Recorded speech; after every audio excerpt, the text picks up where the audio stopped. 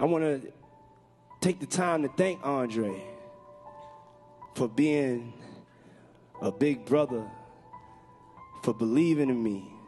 Dre, I'm only standing up here because you gave me the chance. You gave me the opportunity.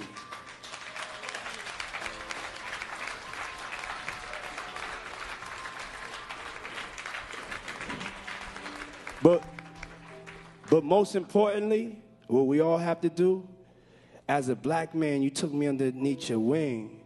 You was patient with me, and you taught me, and you talked to me, and you taught me the, about the game. And you, you, you, you taught me what it was to be a record man. You believed in me, you know, and, and you kept teaching me. Even to today, you still teach me. And I call you my big brother, but tonight I got to tell you the truth. That um, I told you my father died when I was two and a half. You know, um, Andre, you've been my father for the last like 30 years, B.